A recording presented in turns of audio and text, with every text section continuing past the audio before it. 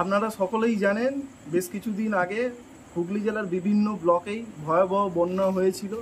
তৎস আমাদের এই গোঘাট ব্লকও প্রায় ছটি পঞ্চায়েতে বন্যা কবলিত এলাকার মধ্যে ঘোষণা হয়েছিল। এই বন্যার সময় আমরা এই জলমগ্ন অবস্থায় প্রশাসনের তরফ থেকে চেষ্টা করা হয়েছিল প্রত্যেকটি বাড়িতে দুয়ারে দুয়ারে গিয়ে শুকনো খাওয়ার এবং ত্রাণ সামগ্রী পৌঁছে দেওয়া আমরা তা প্রত্যেকটি বাড়ির প্রায় দুয়ারে দুয়ারে পৌঁছে দিয়েছিলাম।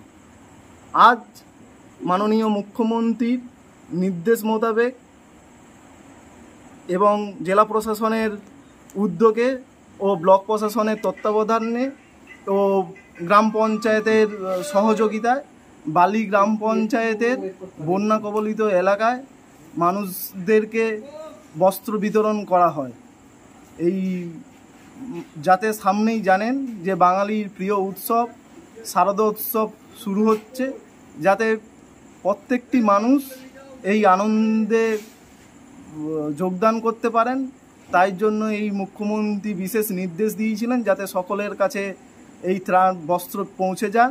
সেই মোতাবেক আমরা আজ দুয়ারে ত্রাণ প্রকল্পের মাধ্যমে আমরা সকলের প্রায় দুয়ারে দুয়ারে এসে সেই বস্ত্র ত্রাণ হিসেবে আমরা বস্ত্র বিতরণ করি। গ্রাম পঞ্চায়েতের প্রায় সমস্ত এলাকায় বন্যা কবলিত ছিল। আমরা বালিগ্রাম পঞ্চায়েতের পাঁচটি এলাকা ক্যাম্প করে আমরা এই পুরো বালিগ্রাম পঞ্চায়েতের পুরো এলাকাটি যে সমস্ত দুর্গত মানুষ আছেন, তিনাদের সকলকেই আমরা এই বস্ত্র বিতরণ আজ করলাম।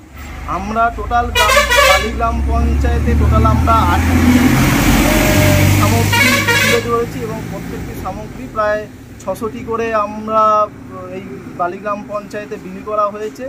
এর মধ্যে ছিল লুঙ্গি, ধুতি, জামা, পাজামা এবং মেয়ে মহিলাদের জন্য শাড়ি, লেগিংস, কুর্তা ইত্যাদি। প্রায় চার হাজার নিউনুর sofa centre.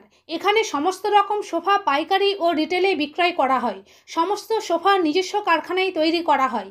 Proprietor Hanif Hossain Khan ও রুহুল হোসেন খাঁ। বড়ডোঙ্গল হাটতলা সিনেমা হলের সন্নিকটে হুগলি।